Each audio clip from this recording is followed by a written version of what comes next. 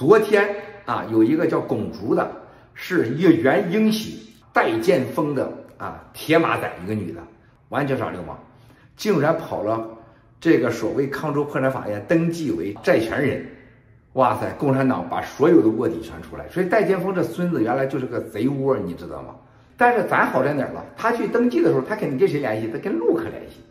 那陆克必须回答我们：你咋跟龚竹联系的？你用什么方式联系的？他给你说了啥？你了解他真相了吗？龚竹百分之百造假。哇，这律师全部都兴奋了。现在啊，他只要造假，只要他行动就好，设计勾兑和共产党的勾兑。他就是想耍赖，想黑洗联储，目标洗联储，G Club 嘛，这就是这帮孙子。所以普恒还有单伟建，他说他不是共产党，咱走着看，美国政府会证明你是不是共产党。美国这次的所有调查，特别是现在独立调查官，绝对会告诉啊，让你死皮赖到你每个人从第一天 pass 的案子到 pass 有多少美国养老金被你弄到中共去了。你单伟建到底是不是共产党？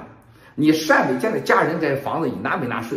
斯图尔买奥米尼这个这个律师从第一天，还有这些所有的相关人，他们女儿女婿多少人，是吧？是在中共国当律师拿中共的钱的，百分之百都会查。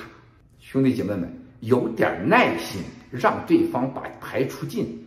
你以为你们一手遮天了吗？你有钱，你在美国可以买下美国。美国的高院你也买了，司法部你也买了，还给马斯姆七千多万美元，艾利布瑞迪七千多万美元，然后陆克你可以敲诈我两亿五，你大爷的，你敲一诈我们两亿五，要把新中国联邦撕碎，和你那个烂仔公主跟干的关系啊，就让你出手，你拿共产党的钱，共产党会用死你，那么你共产党用你就是我们的机会，这就是我们想要的。